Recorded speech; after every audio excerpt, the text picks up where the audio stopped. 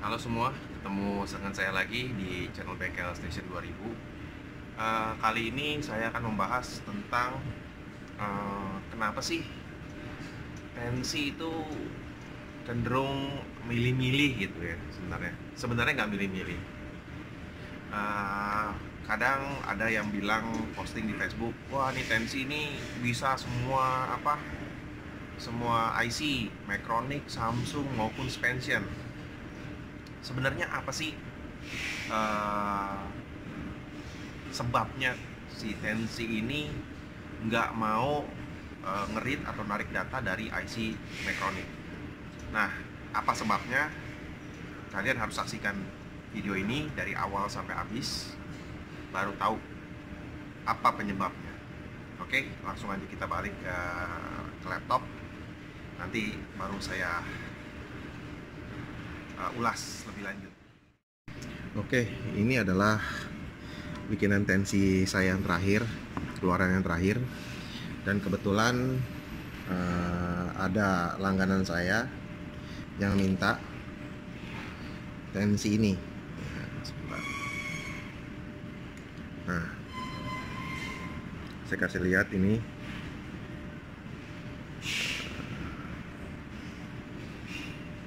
dia lihat mas itu tensi bisa baca Micronic atau enggak? Tanya dia bilang sama Samsung. Saya bilang e, bisa tanya. Ini lagi buat video di YouTube katanya dia bilang. Saya bilang gitu kan. Ya udah kirim tensinya aja sama MTech saya bilang ini uh, pengiriman besok ya katanya. Soalnya ini stok terakhir belum saya bikin lagi.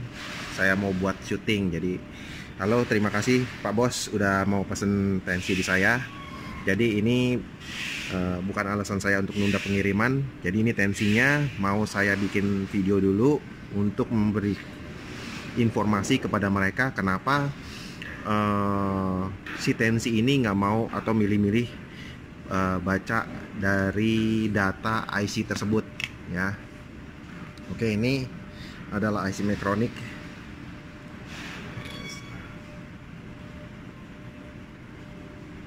Sorry. Kurang kurang jelas ya.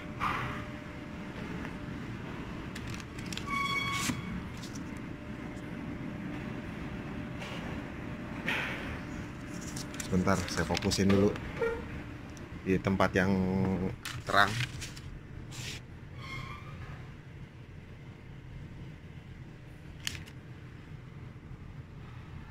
nah ini IC Macronic. Ya IC Macronic. Yang konon katanya nggak bisa dibaca datanya. Nah sekarang kita coba baca datanya.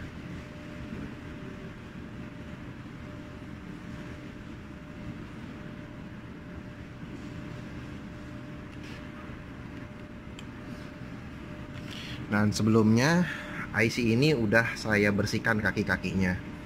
Gunanya apa? Gunanya untuk uh, bisa terdeteksi data uh, dari uh, di dalam IC ini. Kalau misalnya uh, kaki kotor, otomatis kakinya IC ini kotor. Ada beberapa kaki yang nggak bisa terkoneksi dengan baik. Jadinya datanya waktu kita mau tarik itu error.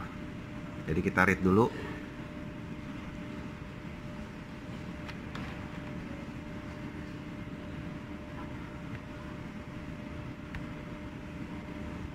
sebentar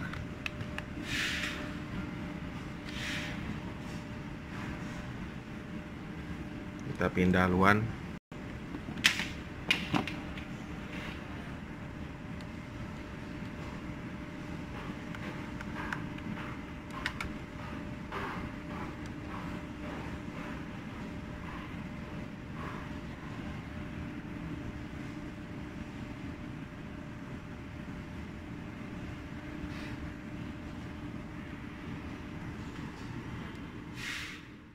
Nah, berikut ini adalah IC Macronic tadi, eh IC Macronic apa namanya tensi yang mau saya jual tadi.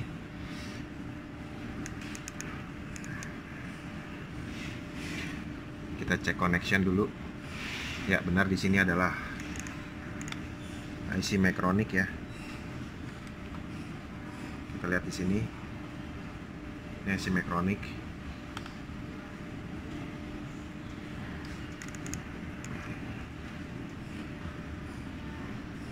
lalu kita kerit.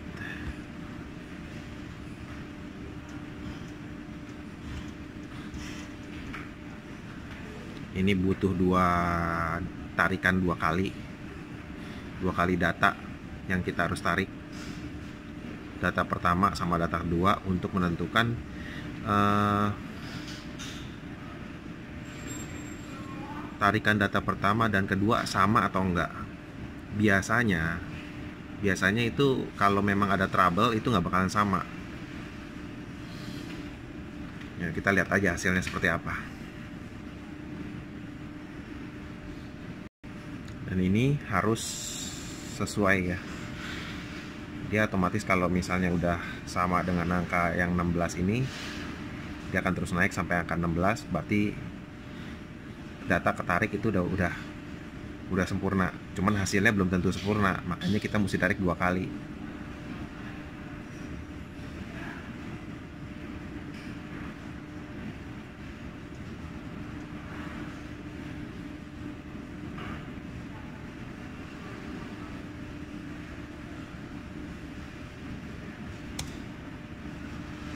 Saya kasih 01 aja save oke kita tarik lagi. Read lagi.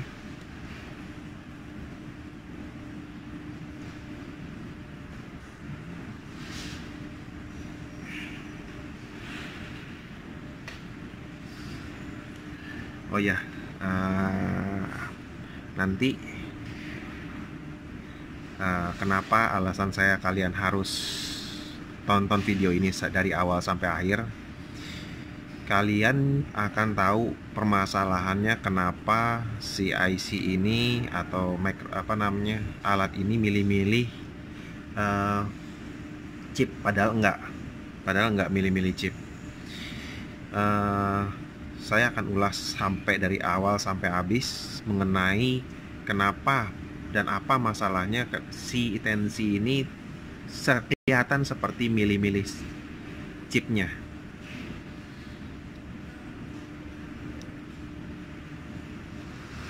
Sebagai awal dari apa namanya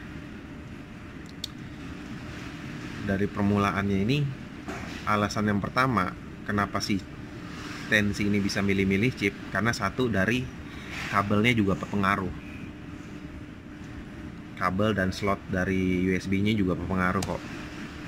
Kita kasih ini nomor 2 karena data kedua yang kita tarik. Oke. Nah kita bisa lihat di sini. Di sini non matching block berarti alat ini berfungsi dengan baik. Jadi untuk Pak Bos yang tadi memberikan pinjaman kepada saya tensi ini karena tensinya udah nggak ada lagi udah nggak ada stoknya lagi udah habis. Jadi saya mesti buat lagi. Dan ini Pak Bos yang di sana bisa lihat bahwa ini saya udah coba alatnya dan Micronic berfungsi dengan baik. Tidak ada non matching block. Nah tadi alasan saya kenapa bisa dengan alat yang sama itu bisa mempengaruhi hasil ini? Intinya satu satu kalian harus mematikan USB-nya dari komputer kalian itu longgar atau enggak? Maksudnya longgar gini kadang-kadang kotor. Namanya slot USB itu ibaratnya mengkoneksikan uh, antara komputer dengan si tensi. Itu USB-nya harus bagus maksudnya nggak kendor. Kedua kabelnya juga harus bagus. Kenapa kalau kalau kendor dan kabel nggak bagus? Karena bisa menyebabkan ininya nggak nol nantinya karena dalam dia membaca data membaca data kadang connect kadang enggak kadang connect kadang enggak. Itu jadinya error datanya. Alatnya nggak salah. Itu yang pertama. Kalian harus cek permasalahan uh, si tensi ini bisa kenapa kok dulu bisa sekarang nggak bisa. Nah, karena itu. Karena salat USB-nya itu diperhatikan sama kabelnya diperhatikan.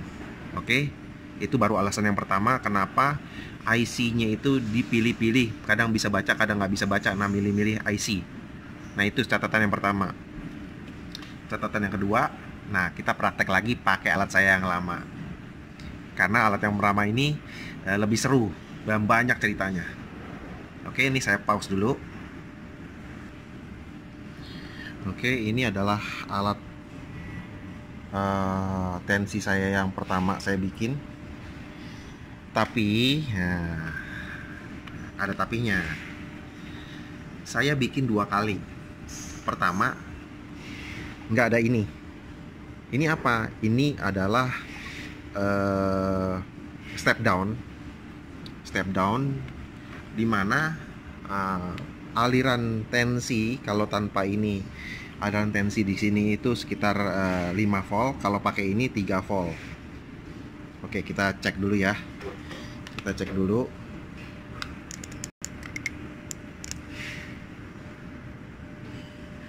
Oke kita cek pakai digital.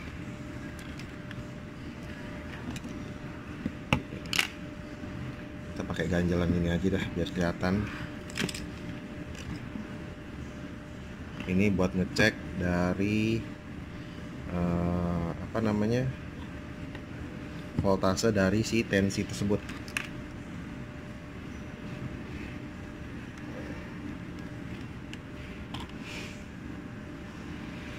kita bisa lihat di sini. Nah kita lihat. 329 berarti 3 volt 29 atau setara dengan 3,3 volt.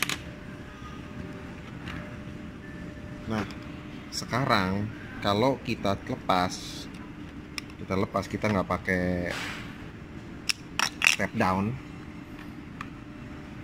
kita tinggal ukur lagi dia berapa?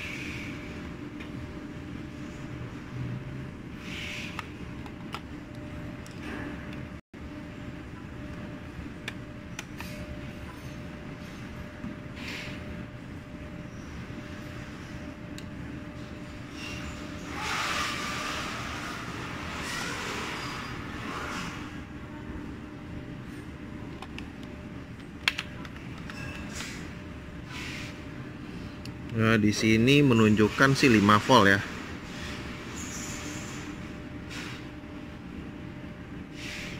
Di sini menunjukkan 5 volt. Sorry, saya cuma tangannya dua jadi susah untuk ngatur ininya. Jadi di sini ada dua. Ada dua macam. Yang saya pakai ini ada step downnya dari 5 volt ke 3,3. Kalau nggak pakai ini berarti uh, eh, 5 volt. Oke, sekarang kita langsung praktek ke yang 3,3 volt dulu.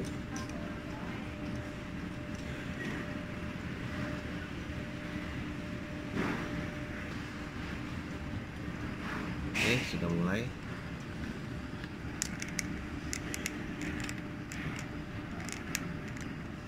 Di sini udah masuk. Udah saya read, ternyata bisa. Maksudnya Micronic udah keluar. Biasanya Micronic kebaca dua kali. Tipe IC-nya, nah ini dua kali.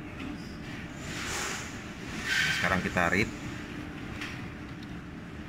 Nah, karena tadi saya bikin pertama ini uh, ada yang pakai yang langsung 5 volt, ada yang pakai step down.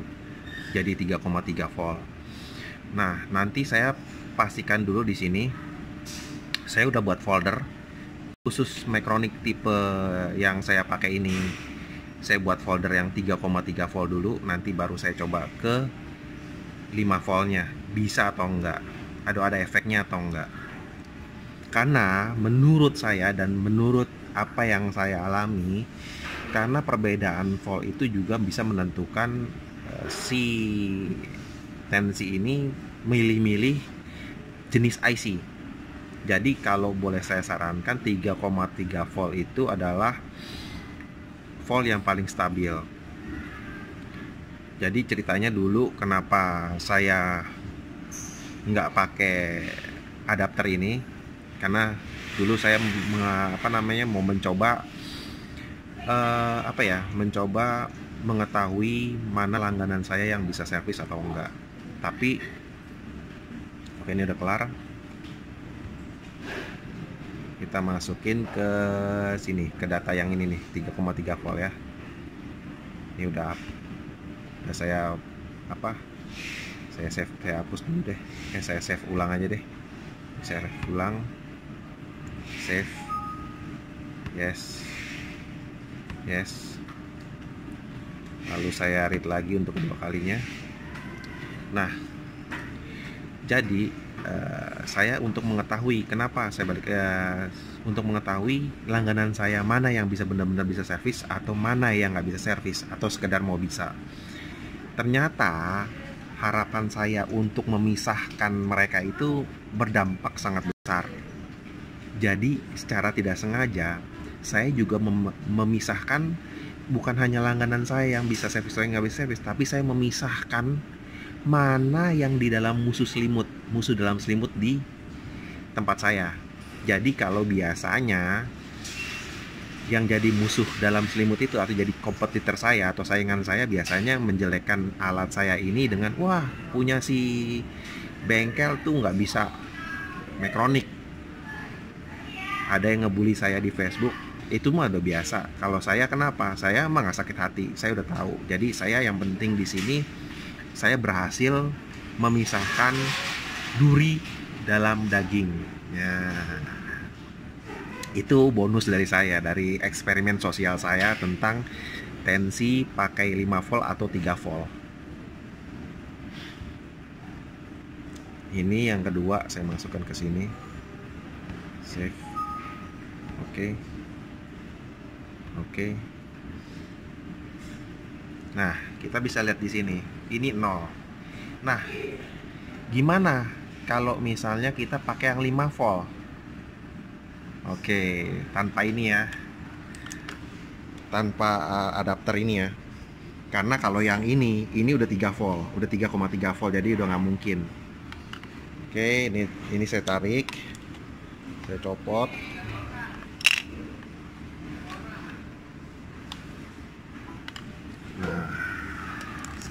kita mulai lagi dari awal. Oke kita mulai dari awal. Kita cek. Oke. Kita read. Oke jadi kalian tahu alasannya kenapa dulu saya nggak tidak menggunakan adapter ini yang 3,3 volt? Karena saya mengalami mau mengadakan percobaan sosial eksperimen pada langganan saya. Jadi saya bisa memisahkan mana yang bisa servis, langganan saya bisa servis atau enggak, atau cuma sekedar pakai, dan memisahkan yang benar-benar langganan dan mana yang menjadi musuh saya atau persaingan saya, yaitu musuh dalam selimut saya. Dan ternyata itu berhasil, men. Berhasil. Jadi gue tahu siapa yang menjadi duri dalam daging. Jadi kalau kalian mau tahu yang menjadi dalam duri menjadi duri dalam daging di Facebook saya kayak di follower jadi di follower saya. Jadi mereka-mereka yang selalu bilang oh ini udah bisa apa punya saya jualan bisa semua IC bisa semua IC sudah dites nar uh, nornya baik itu Samsung baik pun Spension semua bisa. Oke ini kita kasih nama jangan di sini. Ini Macronic kita lihat di sini. Ini Macronic uh, 3,3 volt jadi kita rubah. Jadi yang kelima volt aja karena tadi kan udah 5 volt. Ini tetap saya kasih 01 save oke kita arit lagi.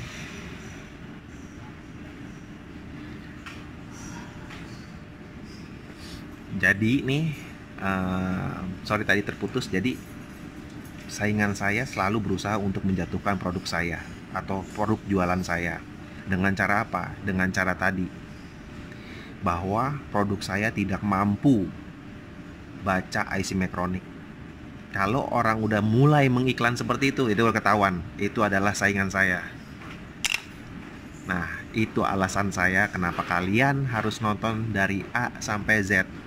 Karena kalian juga akan tahu uh, permasalahan pertama permasalahan dari tensi ini kenapa bacanya itu apa namanya bacanya uh, bisa milih-milih IC dan kalian tahu mana yang menjadi persaingan saya. Apa namanya jadi kompetitor saya dalam jualan seperti ini.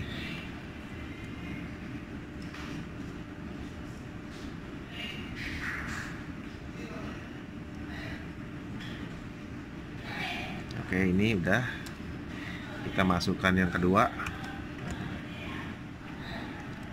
Kita oke kan? Save yes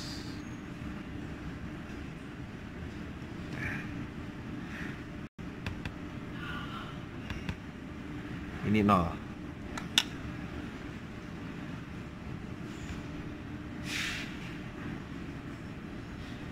Berarti ini nasib kalian bagus. Sebenarnya sebenarnya ini selalu 5 volt itu terlalu nggak stabil.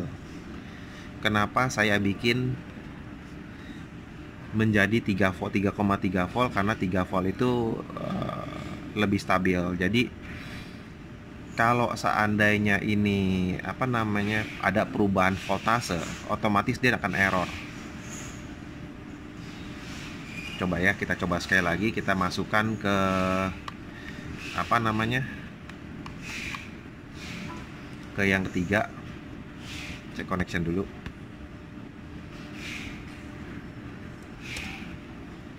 Read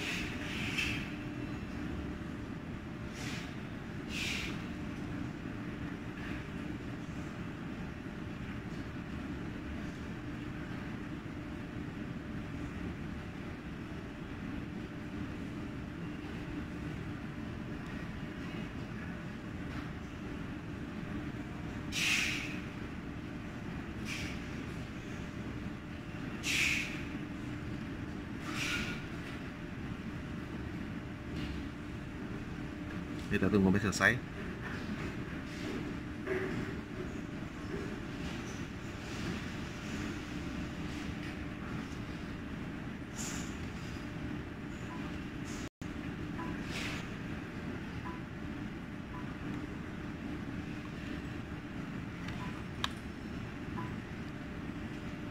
Sorry ini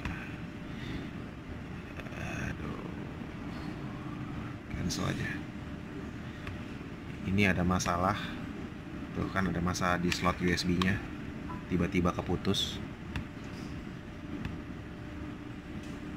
Oke udah nyambung lagi. Kita coba